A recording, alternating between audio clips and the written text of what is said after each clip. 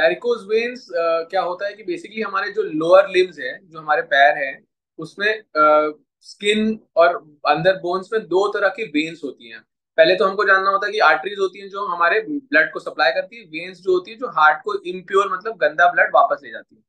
तो हमारे को भगवान ने बहुत अच्छी तरह से बहुत ही जो हमारी लोअर लिम की एनाटमी बनाई है, उसमें एक डीप वेन्स होती है मतलब कुछ वेन्स होती है जो पैरों में डीप होती है बोन्स के पास होती है। वो मेन वेन्स है जो कि पैरों का सब कुछ काम मसल्स को सप्लाई करती है और इम्पोर्टेंट है। कुछ वेन्स है जो हमको सुपरफिशियल वेन्स होती है। सुपरफिशियल वेन्स मतलब स्किन के पास होती है हमारी चमड़ी के पास होती है।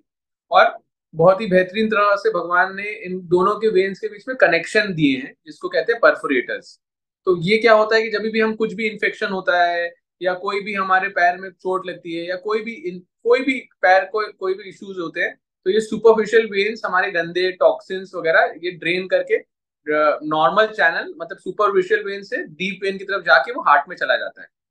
तो वेरिकोज वेन्स क्या होती है कि ये जो हमारी सुपरफिशियल वेन्स है it is basically dilated tortuous veins dilated tortuous vein मतलब फूली हुई, टेढ़ी मेढ़ी नसें होती हैं जो पैर में हमारी सूज जाती है। इसी को हम वेरिकोज वेन्स कहते हैं। और इनका सूजने का कारण ये है कि जो हमारा सुपरफिशियल वेन्स और डीप वेन मतलब ऊपरी वेन्स और अंदर गहरी वेन्स के बीच में जो कनेक्शन होता है, वो किसी इन्फेक्शन होने की वजह से या कहीं क्लॉट होने की वजह से या वो उसमें ब्लॉकेज हो जाता है।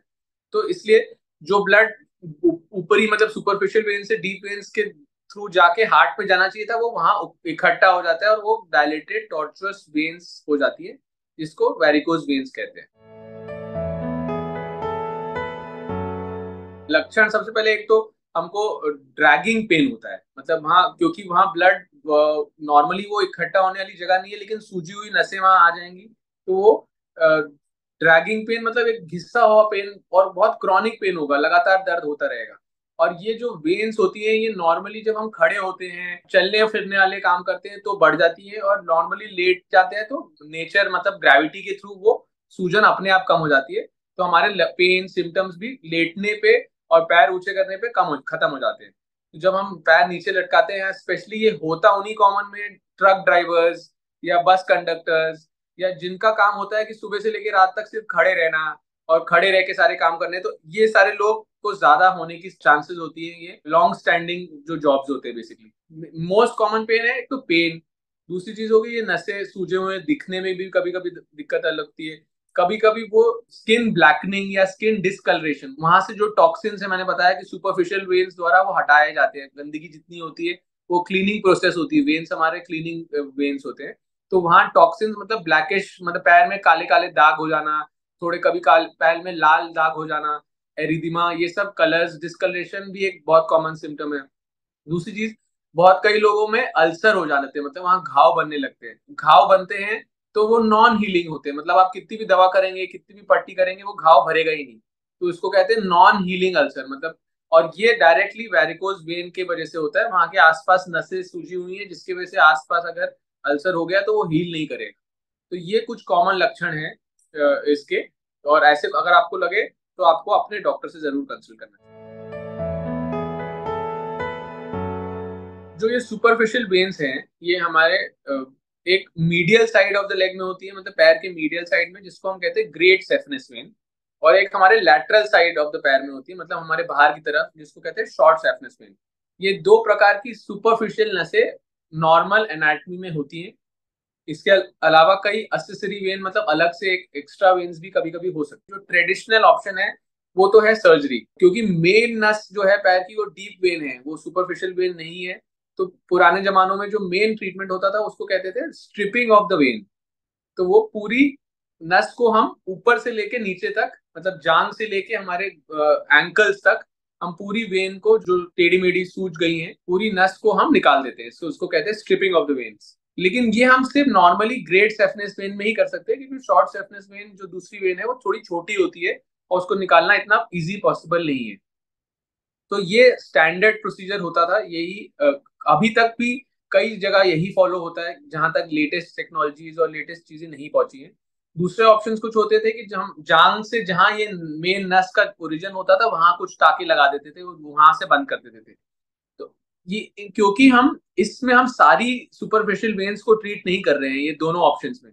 चाहे हम पूरी एक ग्रेट सेफनेस वेन निकाल रहे हैं, चाहे हम वहाँ टाके लगा रहे हैं। तो इसलिए ये बीमारी बहुत दर्द तकलीफ़ वाली होती थी कि, क्योंकि वापस हो जाती थी। क्योंकि हम ना शॉर्ट सेफनेस वेन को नहीं देखा, जो हमने, जो हमारे कनेक्शन है, उसको हमने कुछ नहीं किया, जो हमारे सुपरफिशियल और डीप वेन के कनेक्शन है, जो खराब है तो वहाँ से दूसरी नसें भी फिर से बनने लगती हैं रीवैस्कुलाइजेशन हो जाता है।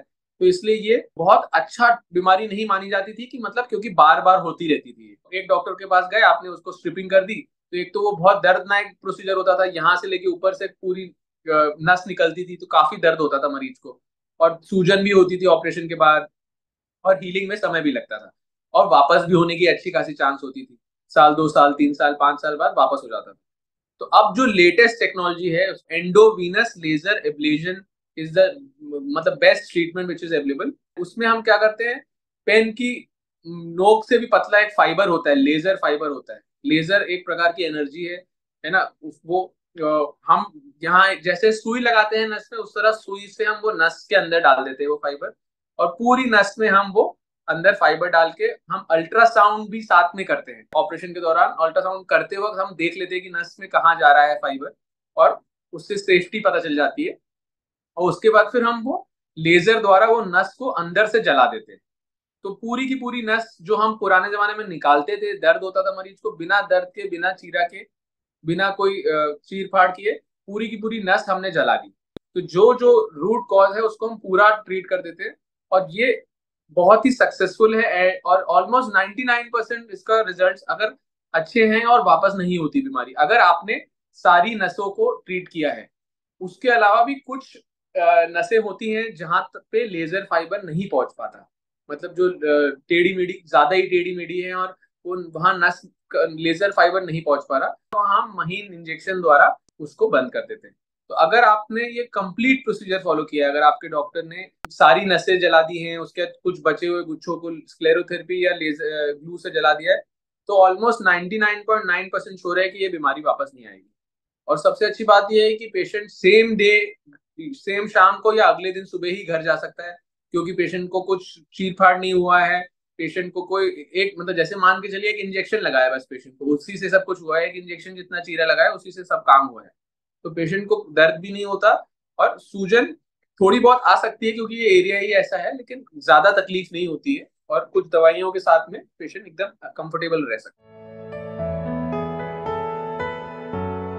क्योंकि ये हमने वेन्स को जला दिया और वेन्स में वापस खून आने की चांसेस रहती हैं तो इसके या आप ट्रीटमेंट नहीं भी कर रहे हैं या आपने सर्जरी भी कराई है तो इसके साथ में एक स्टॉकिंग्स होती हैं जो कि स्पेशली वेरिकोज वेन के नाम के अलग आती हैं। कोई नॉर्मल मोजा पहनने से उसको फ़ायदा नहीं होता है। कुछ स्पेशल स्टॉकिंग्स आती हैं जो कि हमारे नस को कंप्रेस करती हैं और हमारी मसल्स को कंप्रेस नहीं करती हैं। अगर बहुत टाइट हम मोजा पहने रहेंगे तो हमारी मसल्स और बाकी चीज़ें भी कंप्रेस होंगी, जिससे हमको पेन होने लगेगा। तो क्लास टू स्टॉकिंग्स कहते हैं, जिसको वेरिकोज वेन्स में और वो कभी कभी शुरुआती फ़ेज़ में बिना ऑपरेशन के भी अगर आपको टालना है तो उसमें भी यूज़ किया जा सकता है आपके डॉक्टर के सुपरविजन में। और अगर सर्जरी हुई है तो उसके बाद भी थ्री टू सिक्स मंथ्स तक ये स्टॉकिंग्स पहनने के लिए आपके डॉक्टर रिकमेंड करेंगे। और लेटे वक्त और सोते वक्त और नहाते वक्त आप उतार सकते हैं अपनी ये सब स्टॉकिंग्स और बस और कोई सावधानी लेने की ज़रूरत नहीं। जैसे मैंने बताया चौबीस से अड़तालीस घंटे बाद आप अपनी रूटीन एक्टिविटीज़ कर सकते हैं। लेकिन बस ये स्टॉकिंग्स पहनना ज़रूरी है।